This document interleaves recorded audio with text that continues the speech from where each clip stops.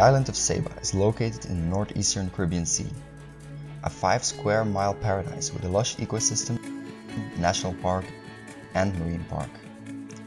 Until recently, the island's energy provider has relied solely on diesel generators to power the island. In 2017, as requested by Saba Electric Company, the Green World Company initiated the Renewables Project, a project when realized that would see the island's energy consumption being fulfilled by solar during daylight hours, thus vastly reducing their reliance on diesel generated power. I'm on Saba, working on the project for Saba Electric Company, which is behind me. A 2 megawatt solar PV project with battery installment to get the island completely off grid anywhere between 7 in the morning and 7 in the evening. Working on an island like Saba is extremely challenging, so you have to come up with a really good team who are mm-hmm. able to cope the logistical issues we are facing. The harbor is on the complete mm-hmm. other side of the island and Saba is very remote. Secondly, geological. As you can see, this island is a volcano, meaning the slope is one of the steepest slopes we have ever worked on. From a technical perspective, it's also very challenging because we are here in a hurricane zone. And that means that everything you build have to withstand a hurricane with at least a force of 4.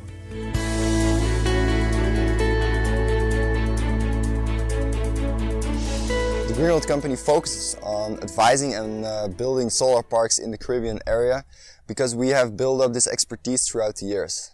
With a member of our team on site during all stages of a project, we provide much needed support and direction, from the civil works that prepare the land chosen for the installation, the foundations of the site, installation of tables and panels, to the total integration of solar generated power to the target grid.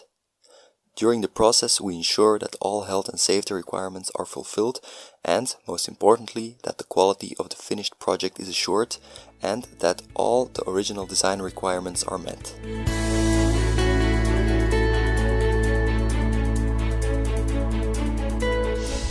And what we're now doing is uh, the commissioning of the second solar park, uh, which will be uh, done in, uh, at this moment.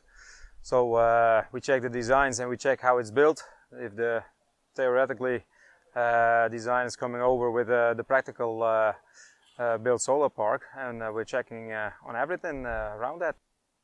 We check not only the design but also the quality of, of the whole field, not only now but also uh, during the whole operation building.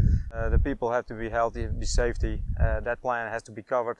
We do checks on the mechanical parts and the electrical part and also the quality during building and afterwards. The Green World Company is active all over the world. Uh, we stand for quality and uh, we yeah, like to do uh, most challenging projects which there are.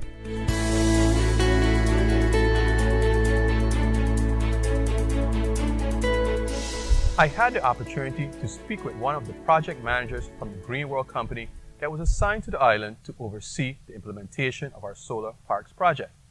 The island's environmental well-being is a subject very close to my heart, as I believe it should be for all Sabans and the world in general.